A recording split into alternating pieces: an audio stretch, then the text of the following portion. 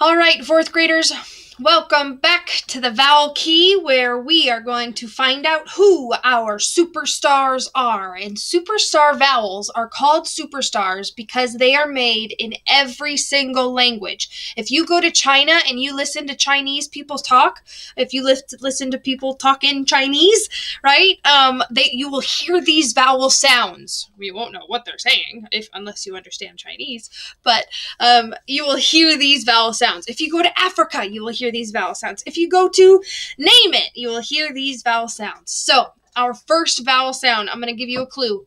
This is where it is on the vowel key. So, this is kind of a hint as to if you can imagine the mushy middle of the mouth.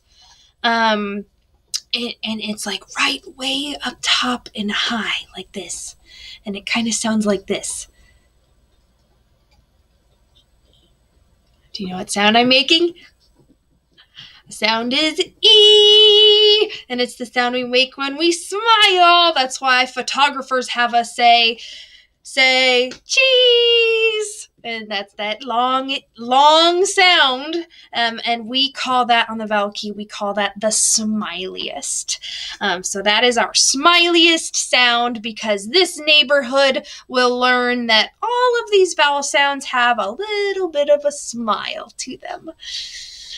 All right, here we go. Our next superstar is over here, and it's kind of if you if it, E is like right up top there, then this one is also right up top, but more towards the back of the mushy middle, like this.